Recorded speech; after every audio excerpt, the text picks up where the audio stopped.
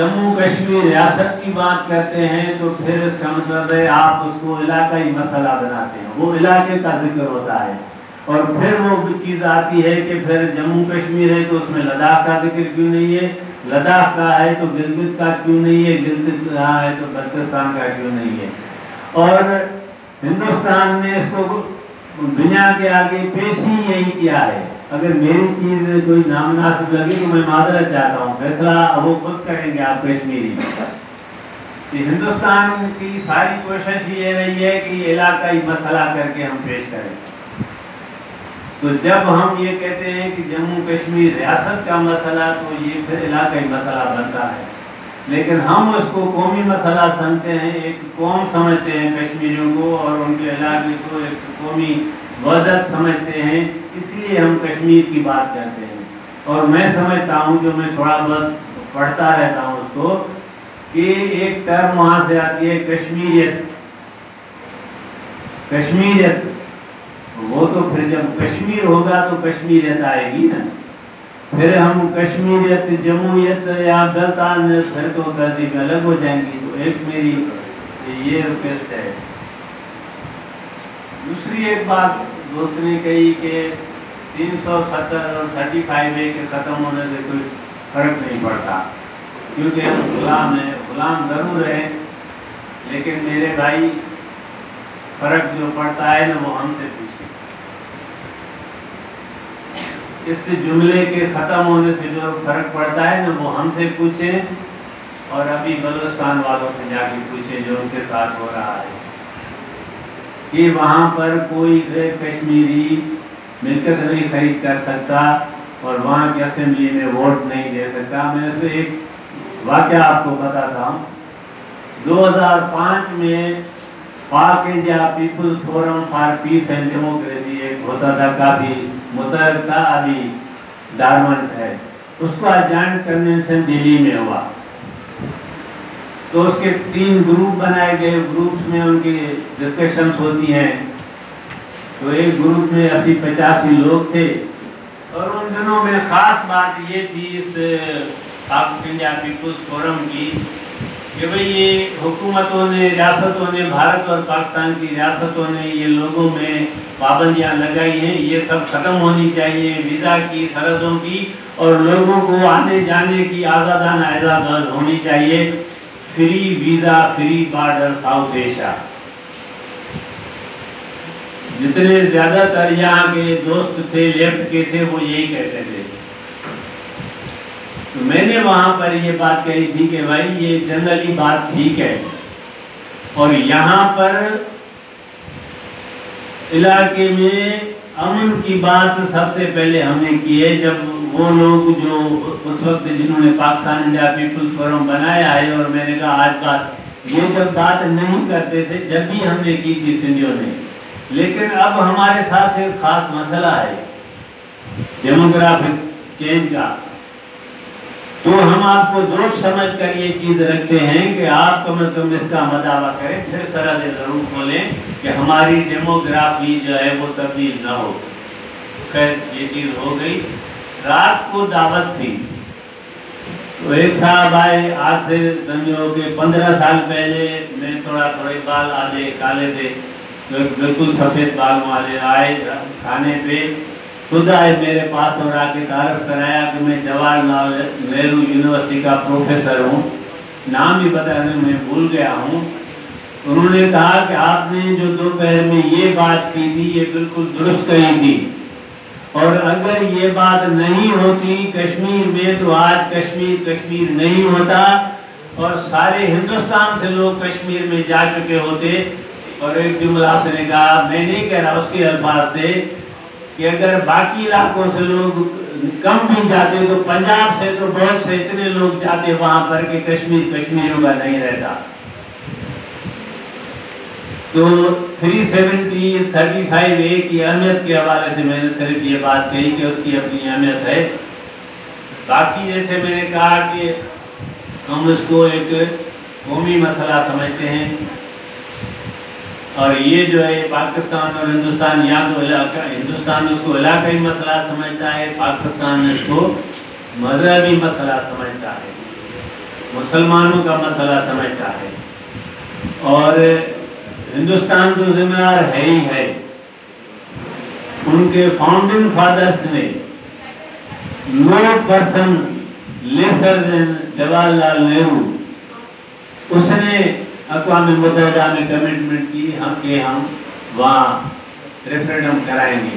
वो कि उसमें थर्ड ऑप्शन नहीं था उस पर मैं थोड़ा टाइम मिला तो बाद में ज़िक्र करता हूँ थर्ड ऑप्शन का, लेकिन वो था हिंदुस्तान तो बेसिकली जिम्मेवार है इस कश्मीर के हवाले से, लेकिन उसको आसानियाँ पैदा करने में पाकिस्तान ने भी किरदार किया है।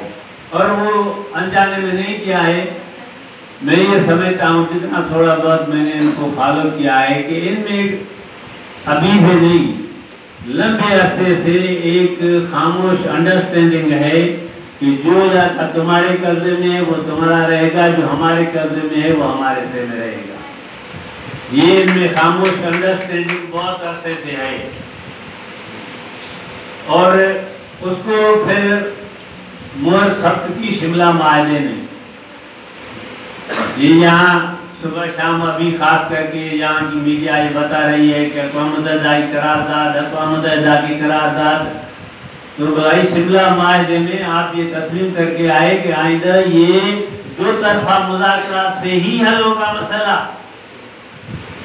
तो एक चीज़ें एक्सप्लिसिट होती है, एक इम्प्लिसिट होती है। तो इम्प्लिसिट ये बात थी कि हम अकवा मुतहदा में नहीं जाएँगे। आप तस्लीम करके आए वहाँ पे और ये किस लिए तस्लीम करके आए? आप जो ये ना कहते हैं कि फला साहब गए और नबे हज़ार को लेके आ गए। गए और यूँ हाथ से पकड़ के ले आए, ऐसे नहीं होता है। आप ये भी देखें कि जब आपको इतना कुछ मिला तो आपने दिया क्या? यही दिया था मेन चीज़ यही दी थी कि अब ये मसला दो तरफा मामला से चलेगा। तो लिहाजा तो अंडरस्टैंडिंग ये थी कि ये जो तुम्हारा है, ये तुम्हारा रहेगा, वो हमारा हमारा रहेगा। अभी क्यों? हिंदुस्तान ने ये कदम उठाया, थोड़ा मैं इस पर बात करूँगा, नहीं हुई है आज इस पर कि मसला तो ये चल रहा था, अभी उसने क्यों चलाई तो एक तो पूरी दुनिया में ये राइटिस्ट की लहर चली हुई है। और मैं ये समझता हूँ मेरी राय का दोस्त से न करें कि ये लहर इतनी ज़बरदस्त जो उठी है, सोवियत यूनियन के टूटने की वजह से, उसके बाद ये हुई है। तफसील में मैं नहीं जाऊँगा। उसके बाद पूरी दुनिया में चली है तो वो हिंदुस्तान में भी चली है।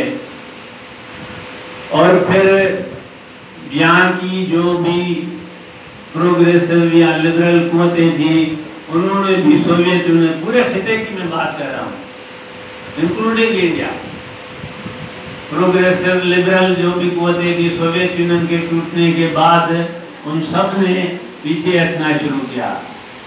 मौके परस्तें की।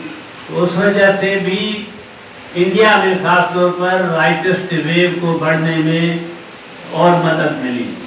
मसलन, आप देखें 89 तक जो पार्लियामेंट थी, उसमें बीजेपी की सिर्फ़ दो सीटें थी। सिर्फ़ दो थी। 89 का इलेक्शन जब हुआ तो कांग्रेस वही जमात है जिसके सरबराह जवाहरलाल नेहरू थे जिन्होंने ये सब कुछ थ्री सेवेंटी और ये सब चीज़ें की थी। तो उसके सरबराह इंदिरा गांधी के बेटे हाँ? राजीव गांधी। उन्होंने जाके अपनी इंतखाबी मुहिम का आगाज़ अयोध्या से किया। और वहाँ पे उन्होंने ऐलान किया कि अगर कांग्रेस जीत के आ गई तो हम राम राज नाफिज करेंगे। और ये, ये सिर्फ़ मैंने एक मिसाल दी। पाकिस्तान तो भरा पड़ा है ऐसी जो उससे। अब मैं ज़्यादा नहीं उसमें जाऊँगा एक सिर्फ़ मिसाल दी। और वो जो इलेक्शन हुई उसमें बीजेपी जो पिछली पार्लियामेंट में दो सीटें दी उसमें उसकी 85 सीटें हो गई। और उसके बाद वो फिर ये जो आलमी लहर चली है, उसका भी उसने फ़ायदा लिया।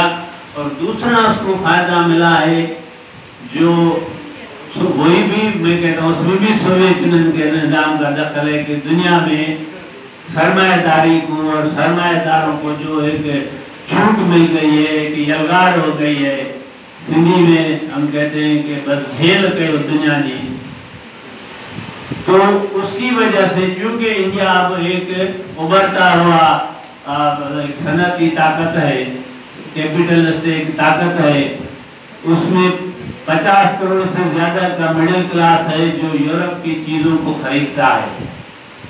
यानी पूरा यूरोप एक तरफ़ और भारत एक तरफ़, इतनी उसकी आबादी है और एक मिडिल क्लास वहाँ पूरा स्टेब्लिश है जो सरमाएदारों की चीज़ें खरीदता है। और जो उनका व्यापार का सबसे बड़ा शोभा है हथियारों का। यूरोप और अमेरिका का उसका सबसे बड़ा खरीदार भारत है दुनिया में।